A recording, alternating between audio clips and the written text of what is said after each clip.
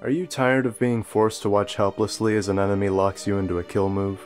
Well, even though the character menu is disabled, you can still open your inventory on a keyboard using the inventory hotkey, which is I by default.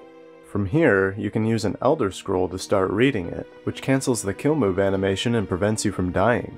You also have brief invulnerability from the kill move state, allowing for an effortless escape. If you were beheaded, reloading your save will put your head back on your shoulders, with the stump clearly visible along the neck. You can make your head disappear again if you equip a helmet that covers the entire head. Most of them, anyway.